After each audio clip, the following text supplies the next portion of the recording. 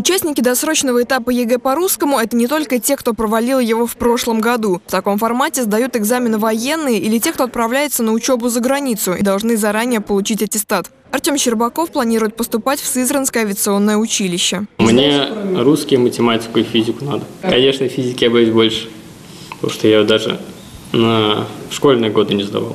Нововведение этого года позволяет зайти выпускнику в аудиторию, где идет ЕГЭ, и спустя два часа после начала экзамена. Правда, время на выполнение заданий не прибавит. Использование телефонов и шпаргалок по-прежнему запрещено, и это самые частые нарушения, которые фиксируют общественные наблюдатели. Они следят э, не только за учениками, но и за организаторами, чтобы как бы не было давления на детей, чтобы они э, выполняли свои четкие должностные инструкции, чтобы не нарушали инструкции члены государственных экзаменационных комиссий, чтобы ЕД прошел максимально честно, объективно и прозрачно.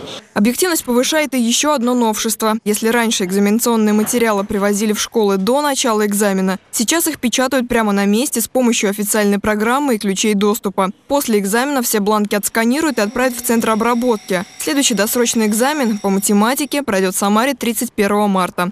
Валерия Макарова, Сергей Баскин. События.